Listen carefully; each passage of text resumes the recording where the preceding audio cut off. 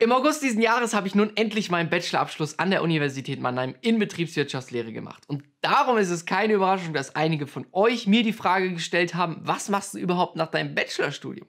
Und genau deshalb soll es im heutigen Video um die Frage gehen, was hatte ich vor, nach dem Studium zu machen? Was werde ich nun tatsächlich nach meinem Studium machen? Und am Ende des Videos werde ich euch noch einen Ratschlag geben, solltet ihr euch in einer ähnlichen Lage befinden und von der Corona-Pandemie betroffen sein. Und wie immer findet ihr zu den einzelnen Punkten des Videos die Zeit kurz in den Kommentaren und in der Videobeschreibung. Und damit geht's auch schon los.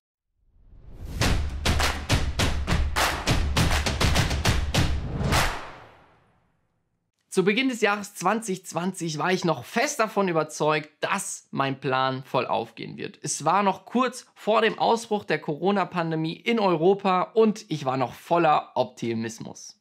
Mein Ziel war es, direkt nach meinem Bachelorabschluss bei einer Strategieberatung fest einzusteigen. An dieser Stelle schreibt mir doch gerne mal in die Kommentare, ob euch ein Video zum Thema Was machen überhaupt Strategieberatungen interessiert. Wenn genügend Interesse besteht, mache ich dazu gerne mal ein Video. Und ja, mein Ziel war es direkt nach dem Bachelorabschluss bei einer Strategieberatung fest einzusteigen, zwei bis drei Jahre dort zu arbeiten, wertvolle Berufserfahrung in dieser Branche zu sammeln und dann einen Master of Business Administration zu machen. Das ist ein spezieller Master für Leute, die schon Berufserfahrung gesammelt haben und nochmal die Best Practices der Managementlehre lernen möchten. Und ja, jeder, der sich so ein bisschen in der Branche auskennt, der so ein bisschen von Strategieberatungen schon mal gehört hat, weiß genau, auf welche Unternehmen ich es genau abgezielt hatte. So viel zu den Zielen, was mache ich nun tatsächlich? Und dazu muss ich erstmal ein wenig ausholen. Zu Beginn des Jahres im Februar habe ich mich bei allen größeren Strategieberatungen beworben. Und plötzlich kommt die Corona-Pandemie um die Ecke. Nicht nur in China und in Asien bricht die Sache aus, nein, es kommt alles nach Europa. Wir Europäer haben das maßgeblich unterschätzt, aber konnten es zum Glück bis jetzt einigermaßen gut handeln, zumindest in Deutschland. Nichtsdestotrotz war die Corona-Pandemie auch für die großen Strategieberatungen, insbesondere für das Recruiting, eine große Herausforderung. Und so zieht es sich der Bewerbungsprozess über Monate hinweg. Letzte Woche habe ich erst meine allerletzte Rückmeldung erhalten und ihr könnt euch nicht vorstellen, wie diese Ungewissheit mich belastet hat. Gerade zu Beginn dieser Zeit im April musste ich zwei herbe Rückschläge hinnehmen und habe mir dann wirklich Sorgen gemacht. Ich habe mir Sorgen gemacht, dass ich wirklich meinen Plan nicht umsetzen kann. Ich habe mir unglaublich Schiss gemacht, dass mein Traum oder mein großes Ziel wirklich nicht erreicht werden kann. Und so habe ich mir Alternativpläne gestrickt. Ich habe mich für den Master in Management an der Universität Mannheim beworben. Ich habe mich auf Praktika bei Startups beworben, damit, falls ich nicht mein Festeinstiegsangebot bekomme bei meinem Wunschunternehmen, dass ich dann wenigstens ein Backup habe. Und zwar ein gutes Backup. Und ich arbeite schon seit mehreren Wochen bei einem Startup in der Geschäftsfeldentwicklung, also in der Strategie. Und ich habe eine unglaublich gute Zeit. Die ersten Vorlesungen im Master waren super spannend und die Arbeit bei dem Startup ist auch unglaublich cool. Bitte hier an dieser Stelle mir mal in die Kommentare schreiben, ob ich ein Day in a Life Video zu dem Thema, was macht denn ein Startup intern machen soll. Das ist aber nicht das Ende der Geschichte. Jetzt habe ich letzte Woche meine finale letzte Rückmeldung erhalten und stand nun vor der Entscheidung, ob ich bei den Strategieberatungen fest einsteige oder ob ich jetzt nun meinen Alternativplan, also Master, Startup, weiterführen sollte. Und ja, ich habe mich jetzt tatsächlich final entschieden. Zu Beginn des nächsten Jahres werde ich bei einer Strategieberatung fest als Bachelor-Absolvent einsteigen, dort Vollzeit arbeiten, zwei bis drei Jahre und dann mein Master of Business Administration fortführen können. Diese Entscheidung hat mich wirklich viel Denkarbeit gekostet. Ich habe ganz, ganz viele Telefonate geführt mit Beratern, mit Leuten, die mal in der Beratung gearbeitet haben, auch mit vielen guten Freunden, um das abzuwägen, weil der Master an der Universität Mannheim birgt unglaublich viele Chancen, Gerade jetzt in Zeiten von der Corona-Pandemie hat man dort auch einige neue Lernformate und dadurch wird die Lehre nochmal besser. In den nächsten Semestern. Aber auf der anderen Seite war es nun mal schon immer mein Ziel, in der Strategieberatung direkt nach dem Bachelor Fuß fassen zu können.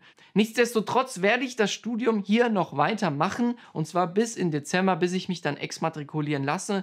Werde die Kurse, die mich interessieren, tatsächlich noch durchziehen, insbesondere Marketing und einen Startup-Kurs. Und ich hoffe, dass ich hier möglichst viel noch an Wissen mitnehmen kann, damit ich dann nächstes Jahr wirklich super in den Job einsteigen kann. Eingangs habe ich gesagt, dass ich euch noch einen Rat mit auf den Weg geben möchte. Insbesondere denen, die in einer ähnlichen Lage stecken, beziehungsweise die es sogar noch viel, viel schlimmer getroffen hat als mich, beispielsweise Masterabsolventen, die jetzt weder ein Praktikum, Werkstudentenstelle noch einen Job gefunden haben und jetzt erstmal auf Jobsuche sind und das in einer der schlimmsten wirtschaftlichen Lagen der letzten Jahrzehnte. Auch ich werde später einsteigen können, als ich das geplant hatte. Und mich hat das wirklich extrem viel Kraft und Aufwand gekostet, die Motivation hochzuhalten, mich über Monate hinweg durch diese Bewerbungsprozesse zu kämpfen. Trotzdem hat mich ein Gedanke immer super motiviert. Am Ende des Tages zählt es immer viel, viel mehr, was wir aus den aktuellen Chancen und Möglichkeiten machen. Aktuell ist es für ganz, ganz viele eine ziemlich beschissene Situation. Wenn du jetzt aber immer positiv bei der Sache dabei bist, immer dein Bestes gibst und langfristig denkst, dann kannst du wirklich das Beste aus der Situation rausholen. Wenn du positiv in die Zukunft blickst, wenn du langfristig denkst und keine unüberlegten Entscheidungen triffst, dann kannst du wirklich aus dieser Krise, aus dieser Pandemie wirklich eine große Möglichkeit für dich schaffen. Ich habe beispielsweise die viele Freizeit genutzt, um in Personal Branding Aktivitäten wie diesem YouTube-Kanal, meiner Webpage, meinem Blog, meiner Instagram-Page mehr Zeit zu investieren. Ich habe es geschafft, beim Startup Fuß zu fassen und davon gibt es auch einige, die durch die Corona-Pandemie nicht so stark betroffen sind oder sogar diese Corona-Pandemie als Chance für sich nutzen konnten. Ich hatte deutlich mehr Zeit für mich selber, um mich persönlich weiterzubilden. So mache ich jetzt gerade an der Yale University einen Kurs zum Thema Glück. Wie wirst du überhaupt glücklich? Und ich habe deutlich mehr Zeit für persönliche Projekte, für Dinge wie Sport, für Dinge wie jetzt zum Beispiel mit meinen Geschwistern telefonieren.